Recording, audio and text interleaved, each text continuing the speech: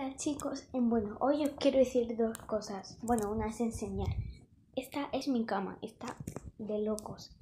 Y la segunda es que... Mm, ¿Cómo se decía? Eh, que eh, si no os habéis enterado, ya he subido el video de cómo hacer el pino puente. Así que, bueno, eh, espero de que lo veáis. Y